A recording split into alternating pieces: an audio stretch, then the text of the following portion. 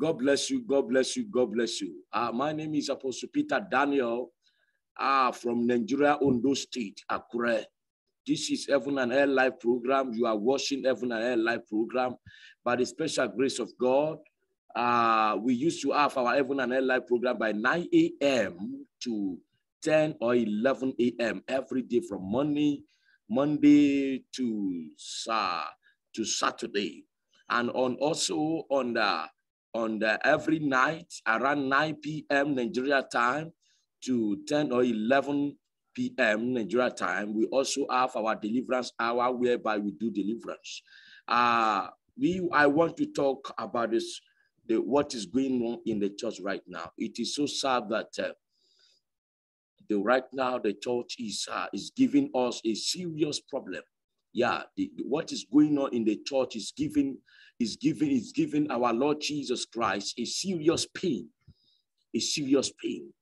It's a, it's a, it's a, it's a sad things that in the church that is if you are looking for an outlet you have to go to the church I, I want to i don't know what is going on in the church but I, I, I, thank God for what for a video that a man of God did from a uh, for, for, from a, a white man of God talk about in the church, and I believe that it is because the Lord is trying to to wake up the church back to life. That is why he's trying to minister to everybody, including the white uh, white nations. Uh, you see, you see, I don't know what is going on, but I just, I'm going to play the video right now. I'm going to play the link right now. I'm going to play the, the, the, the, the, the short uh, video right now. And I want you all to see for yourself. I don't know, I don't know, but I believe God is speaking through the man to you know to, to speak the message. It is a certain that the true church of god is the one that is destroying the gospel. They are the one bringing people to hell. People are going to everything through the pastors so-called pastors but no problem. I, I know God is I, I, I know God is going to take over the church again. Holiness is going to go round the world again. I believe righteousness is going back to the church. Please kindly watch this short uh, video before I say what I want to say. Uh, kindly watch this uh, this short uh, video. Watch this short video. Let's watch this short video. I know God is going to bless you in Jesus' name. Yeah. Watch this. Watch this.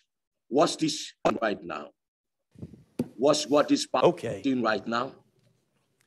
Uh, I got a little note here. And so this morning when I made it, I couldn't figure out if it was the Lord or Loran. So in the first service, I acted on the note. You decide if it's the Lord or Loran. I want to talk to the men for just a second. Men, when I talk about temptation, you know what one of the greatest temptations is, and it's her. You can't walk out of this building, you can't go anywhere in public and not see flesh, nudity, uh, seductresses dressing to appeal dressing to look good. You know what I'm talking about. And short and low, and here are men who want to live right.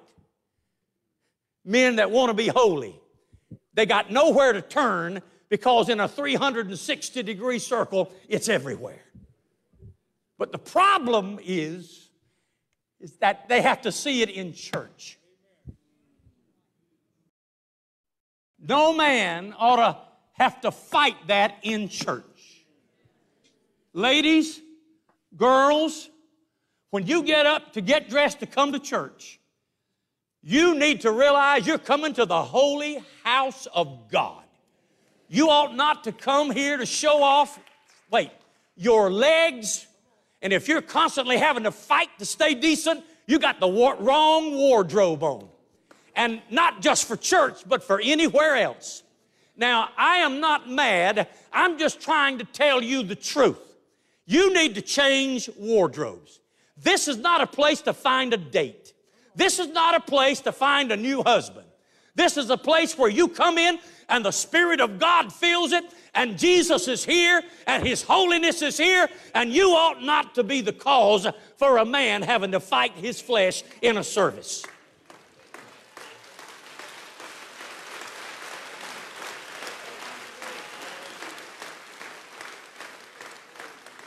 Well, Pastor, what about the men? I've had no complaints about a man whose breeches legs were too short. Here's another one. But, Pastor, that's our culture. Now, hear me. When you get saved, you change cultures. I don't care what you call French, Russian, Romanian, I don't care what it is. When you get saved, you become a Christian and you conduct yourself as a Christian and you dress modestly for the glory of God everywhere you go.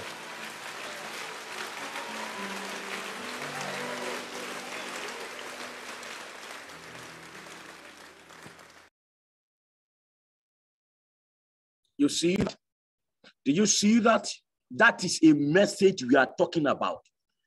That is the exact message we are talking about. We are shouting every day. We are shouting on Facebook. We are shouting on YouTube.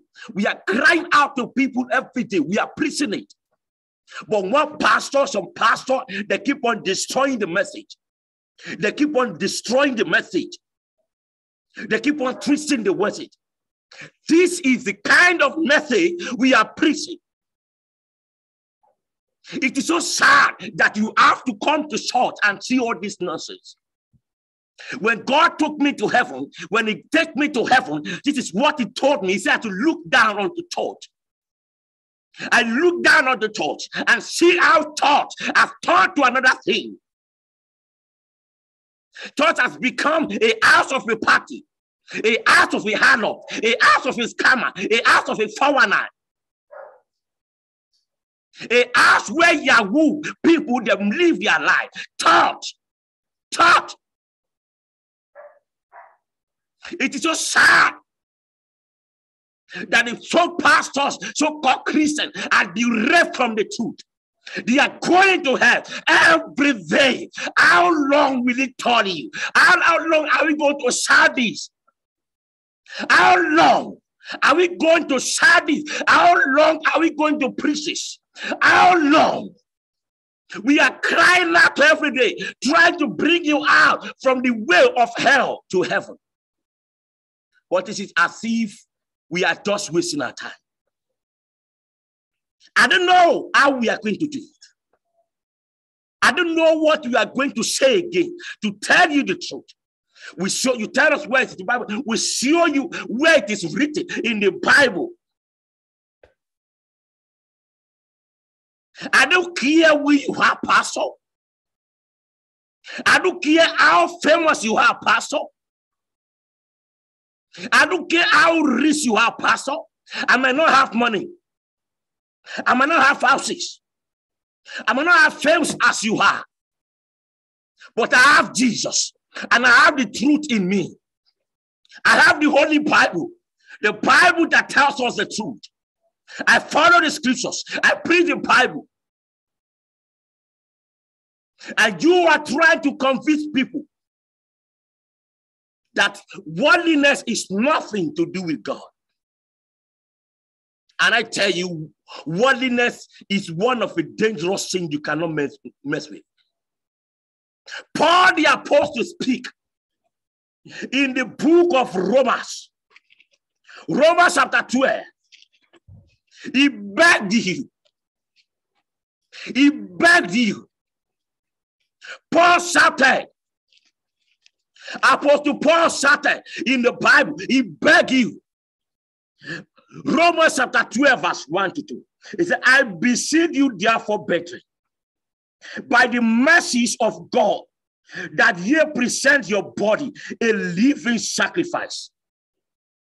He's telling you, and you are saying God has nothing to do with our body.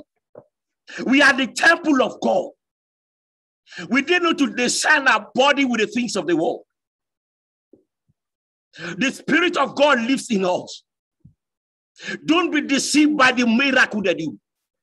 Most of them they bow down to devil and they start calling Jesus. Most of them are courtiers. Do trust anybody. Trust the word of God, the Bible. How long will I shout? How long will it cook? Are we going to cry out? How long? How long?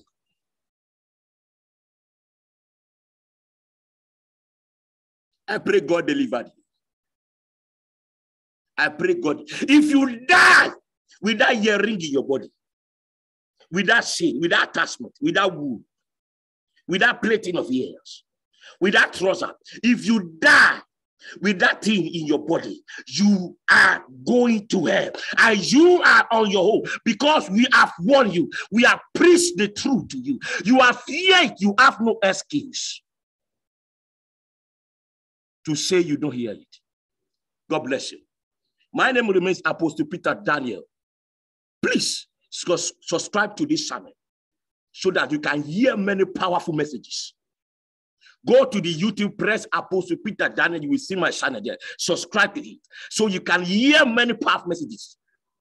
Run away from any pastor, no matter the kind of prophecy, no matter the kind of miracle he's doing. Run away from any pastor that is preaching heresy, telling you worldliness is nothing to do with God.